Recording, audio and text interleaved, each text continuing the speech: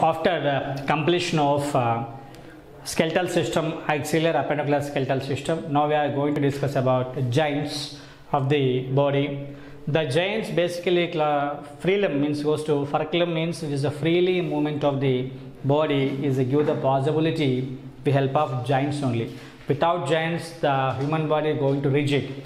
But with the joints, the human bodies must be show the freely movement will be there the free movement and some of uh, some joints are acceptable for the moderate movement some joints we should not acceptable to any type of the movement based on that character the joints or classification is goes to three. Fibrous joints and the cartilaginous joints and synovial joints first one is goes to fibrous joints fibrous joint is goes to highly thick overlap to one joint to another joint we should not show the any type of movement it is goes to we called as synarthrosis. Synarthros means we should not formation of uh, small movement also we should not acceptable or a small joint this type of joint is goes to fibrous joint where it is presence of this type of fibrous joints is goes to first one is goes to coronal suture. Coronal suture means frontal bone and associate to the uh, parietal bones. In the center there is a have one suture is attachment of two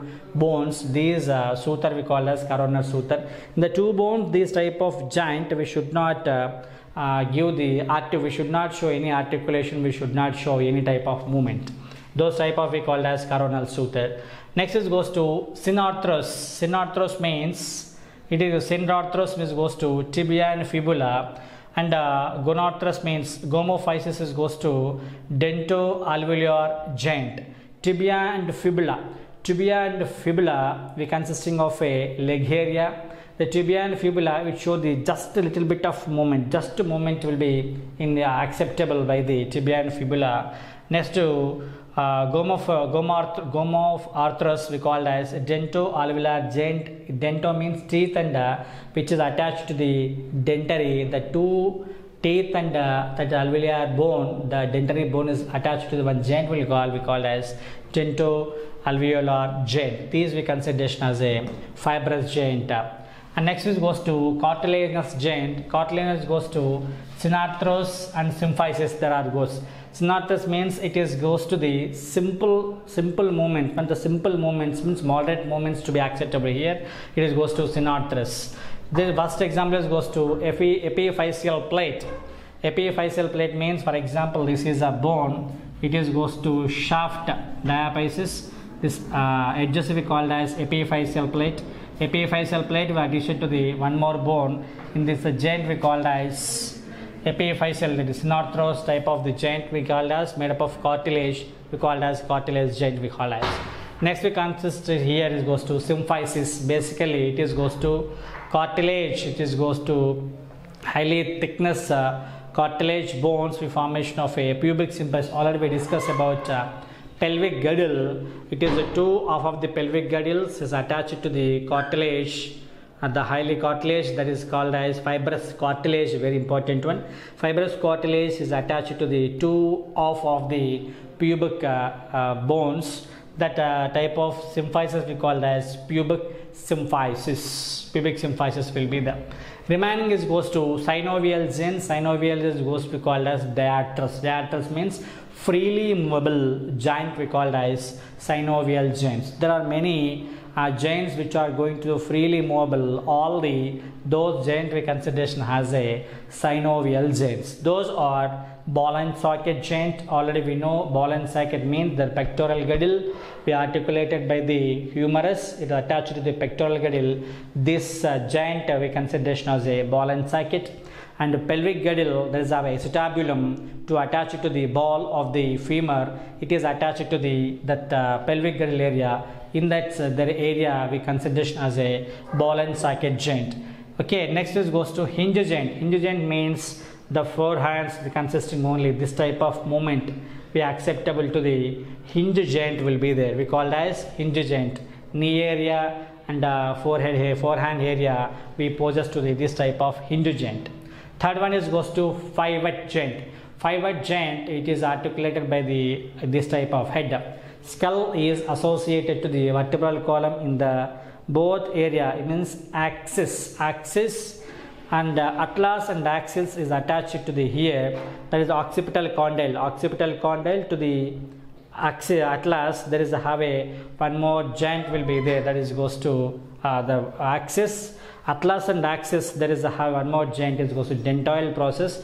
The axle will be rotating like this. This type of joint we call as pivot joint will be there. And next one is goes to gliding joint glide one bone is glide to another bone. A type of joint we consider is goes to gliding joint it is goes to intercarpal and tarsals intercarpal and tarsals there is uh, in between the joint we call as gliding joint will be there.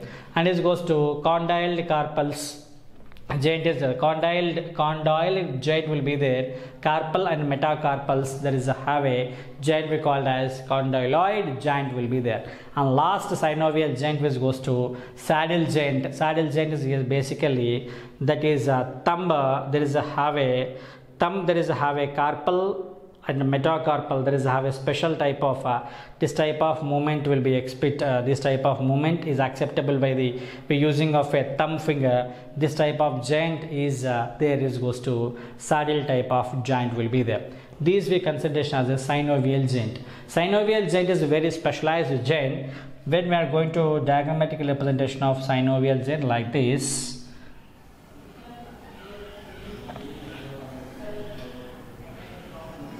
with uh, synovial joint there is a have a this type of uh, shaft of the bone. This is uh, one in uh, epiphyseal plate of uh, bone. There is a have a is called as outer membrane. We there is a have a we called as inner membranes also will be the inner membranes. Here there is a have a the consisting of hyaline cartilage. This have a some synovial cavity. This cavity we called as synovial. Synovial cavity. The synovial cavity is filled with the synovial fluid synovial fluid. And here bones to here attached to the some of ligaments also is attached to the here these uh, synovial fluids act as a lubricant act as a grease like a act as a lubricant. It is uh, gives to the free movement of the body. That's why called as synovial joints will be there. These synovial all the joints we called as synovial joints will be there. This type of arrangement one bone is another bone the shaft of uh, bone the shaft of the bone in between the, the joint will be there. A have a one of a cavity will be there. The cavity is filled with the synovial fluid. We call as uh, uh, synovial joint will be there this type of joint is acceptable to give the free movement of the uh, joint. These are the synovial joints are goes to diatrus diatrus means goes to freeway movable.